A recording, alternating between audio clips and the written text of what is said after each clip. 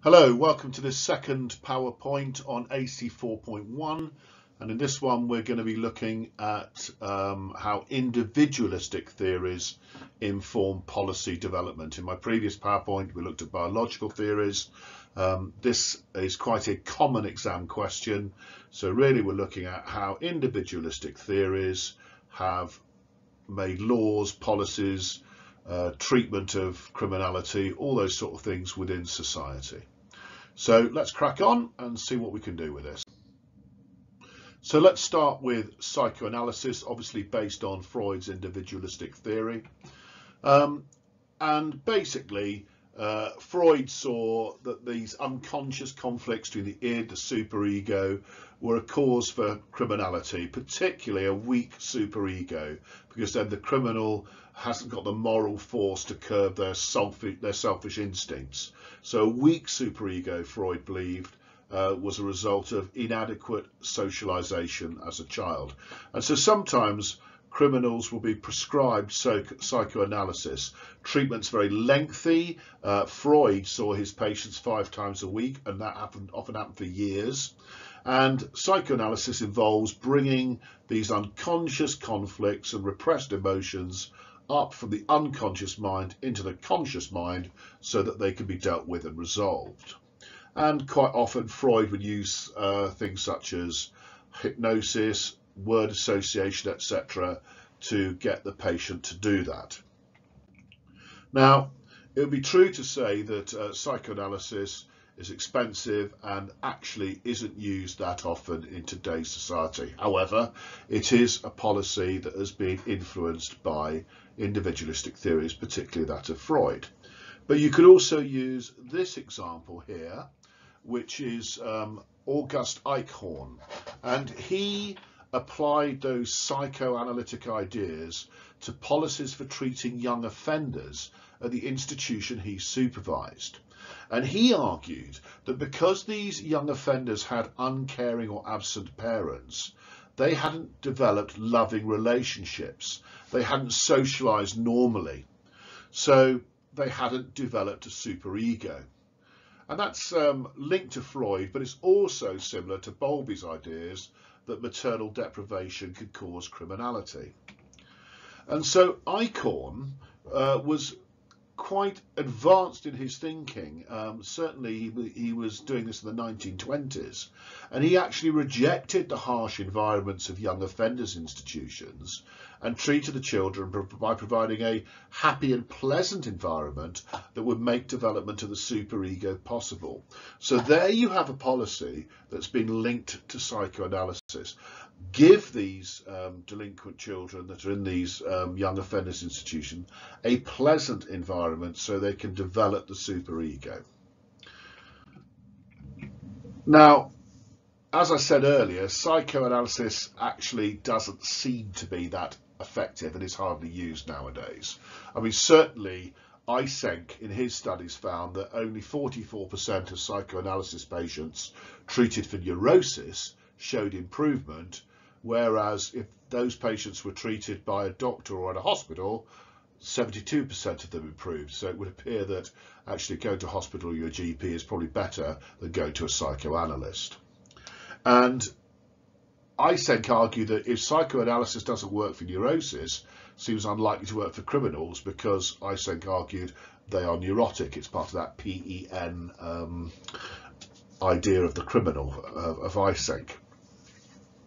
Also, it's costly and time consuming, so in reality, it's never been used as a large, in a large scale for treating criminals. And of course, there's always that criticism, there's a power imbalance between the therapist and the client, client and that raises ethical issues. Now, if it was me, I would either, if I got a question on individualistic theory and policy, I would be writing about token economies because these have definitely been influenced by individualistic theories. So I'm going to take you through token economies and a token economy program is basically one that's designed to obtain desirable behaviour in closed institutions such as prisons, young offenders unit, use, uh, units. Um, they're a form of behaviour modification and they started in the 1960s uh, given the success of the use of learning theories in changing behaviour. So they're linked to individualistic theory. So the big study was done by Hobbs and Holt, and they did it in America and Alabama with uh, delinquent boys. And what they wanted to do was discover the effects of a token economy program on criminal behaviour within the uh, Young Offenders Institute. Now, what they did is they took 125 delinquent males that were Alabama Boys Industrial School. Uh, it was a state training school for delinquents located in an urban area and the boys resided in five independent cottage units. So there were five distinct units which made up this school. And the age ranges were between 12 and 15. Now the boys had charges ranging from truancy, uh, uncontrollable uh, temper to homicide. So there's quite a, a big spectrum of crimes present within that unit. So the staff in the cottages agreed on a number of target behaviours they wanted the boys to show. And that was things like following rules in group games, completing their chores, following general cottage rules, interacting appropriately with their peers, line behaviour, so what that means like walking in a straight line, following simple instructions, etc. And they collected the data uh, by, they got the boys' names were listed on a daily chart and the cottage supervisor will then mark each behavioural category. So they collected the data that way. And the boys were told that the staff were taking records. And signs were posted up all around the um, cottages listing what was expected the criteria. And boys in each cottage were then rated on each target behaviour by two staff members. So each day the supervisor counted the tokens each boy had earned. So if you behaved well you got a token. If you behaved badly you didn't. So if you toed the line tokens were gained.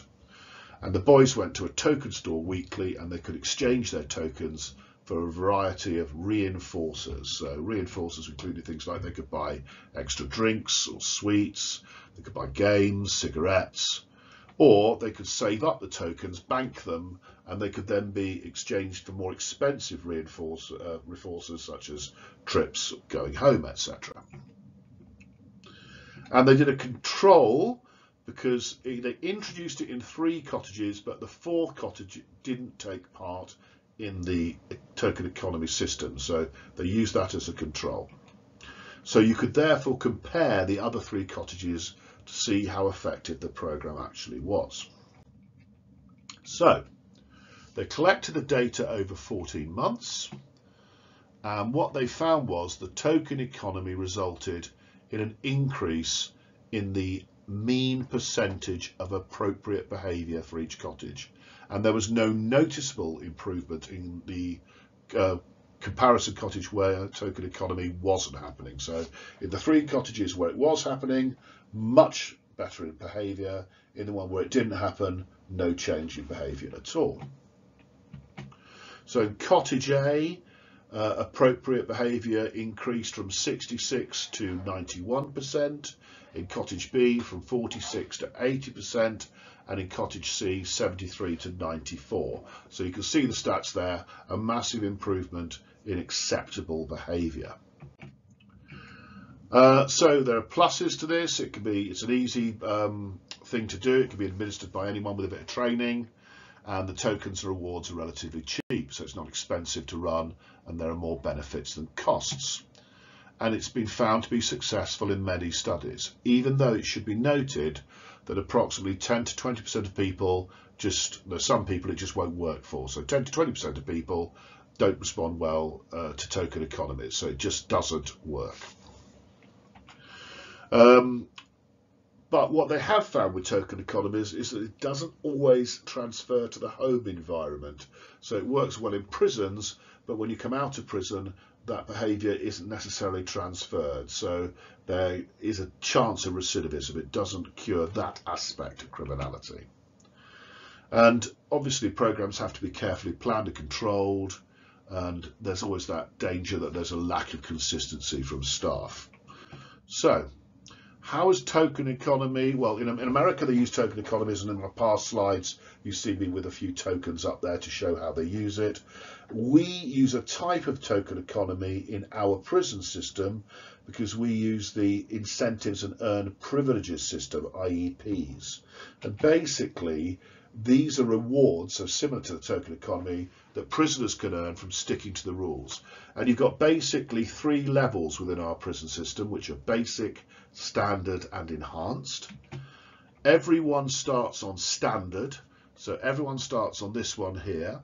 And if they toe the line, prisoners might be, you know, if you're on standard, you can you're able to spend more money um, than they uh, more money that they earn each week in the um, commissary in the canteen or whatever. If you don't toe the line, down to basic you go. And if you're moved to this level, you know, for refusing to obey orders, you lose privileges. So that might include no TV in your cell, meals must be eaten in the cell. But if you behave on standard, you can be moved up to enhanced. And if you consistently obey the rules, you earn more privileges such as more gym time, TVs, more visits, etc. And I found this on the internet, which is just a poster that's been designed by a prisoner in one of our prisons, which gives you some of the things that you get in that specific prison uh, if you are on enhanced. So, you know, access to a book club, three extra gym sessions, DVD evenings, three extra visits a month and a family day, option to buy games, consoles, DVD players, and so on and so forth. So we have adapted the American token economy system and used it in our prison system to encourage good behaviour. So, as I said, some studies showed improvement in behaviour, particularly whilst in prison, but the issue is when the offender leaves prison, the positive behaviours tend to disappear because there's no what there's no reinforcer, there's no reward for behaving well. However, offenders generally return to crime more slowly compared with those who've not undertaken the token economy program. So it definitely has its pluses. And one of the negatives though is there have been cases in the USA of food or drink being withheld and used as rewards and many critics have said that's a human rights issue. It's not a privilege to be earned. So there are some abuses of the system, and that is a negative of the token economy. But nevertheless, token economies have, have been influenced by individualistic theories. So that then moves us on to aversion therapy. Now, aversion therapy is probably linked to Eysenck's personality theory. It's been used for the treatment of sex offenders, also for alcoholism as well. Um, said that you know criminals tend to be strongly extrovert and neurotic. That makes them harder to condition. They're more resistant to learning through punishment, so you've got to make the punishment harder for them to learn. So your conditioning needs to be stronger to change let's say, the sex offender's behaviour. So this is what they do. Um, for the treatment of sex offenders, offenders are asked to think about an unacceptable sexual fantasy until they're aroused, and then they get a strong aversive stimulus, one the individual would choose to avoid. So they might get an electric shock or a nausea-inducing drug administered that makes them sick. And then they repeat the procedure until the offender comes to associate the deviant behaviour, the, uh, the, the, the deviant arousal and the stimulus. So the aim is to stop the thoughts and therefore stop the offending behaviour. So that's for the treatment of sex offenders, but if we look at treatment of alcoholism, uh, you have a nausea producing drug before conditioning and then you add that drug to the alcohol. Every time the person drinks alcohol, they are sick and then in the end they start to associate alcohol with being nauseous and therefore stop drinking alcohol because it makes them sick or they associate it with it. That is aversion therapy in a nutshell. Now, it's had limited success. It's usually only short term and it's been abused and certainly in some countries it's been used to try to cure gay people. And that's definitely a, a, human rights abuse. So we have this headline here gay men given electric shocks to cure homosexuality at Queen's University Belfast. And you can see the link there if you're interested. Just copy that link and off you go. Or it, has been used in China uh, to try and cure homosexuality. That link there will take you to a YouTube clip about aversion therapy in China.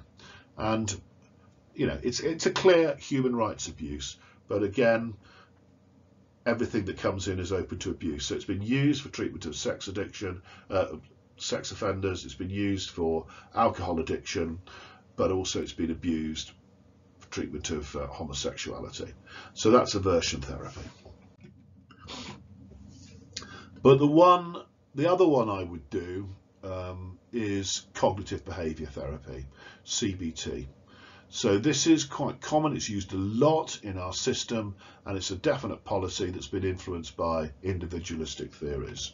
So basically cognitive behavioural therapy, CBT, has been applied to a range of offender treatment programs. And what you're trying to do is change the way that offenders think and their attitudes, um, change their attitudes, and in that way you change their behaviour. So an example of a cognitive behavioural therapy program is the Think First program. Now that's a, a program of group and one-to-one -one sessions for repeat offenders on probation. And that's run by the probation service, which aims to enable offenders to control their thoughts, feelings and behaviour.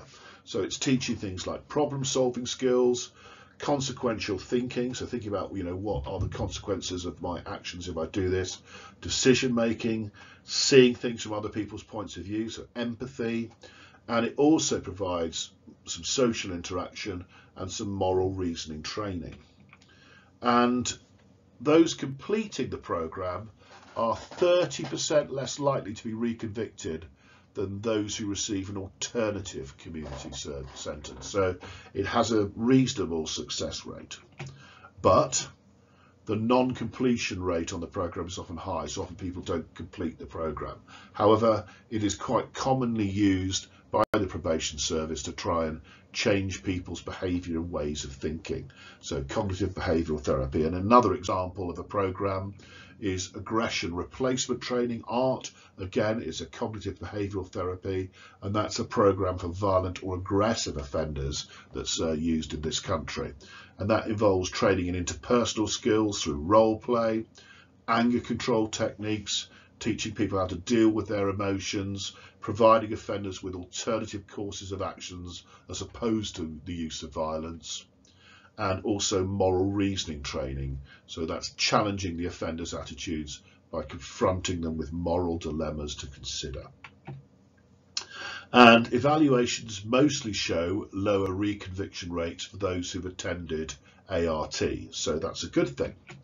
But at the same time, some evaluations have found that although thinking skills improved, behaviour didn't. So the aggression was still there. So to sum it all up, um, the final slide, we've looked at token economies, looked at psychoanalysis, we've looked at CBT, cognitive behavioural therapy. Um, last thing, and this is linked to Bowlby, um, over another policy, um, just general awareness in society of attachment disorder. Um, and as we know, attachment disorder arises when an infant or child under the age of five suffers an early life trauma and then fails to form normal loving relationships with their primary carers. And that is directly linked to Bowlby's work.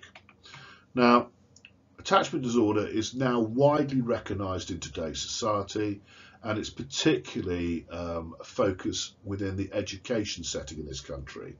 So strategies for dealing with attachment disorder are now part of every teacher's training program. So if you train to be a teacher, you will learn about attachment disorder and strategies to improve it. So that is a direct policy influenced by individualistic theory.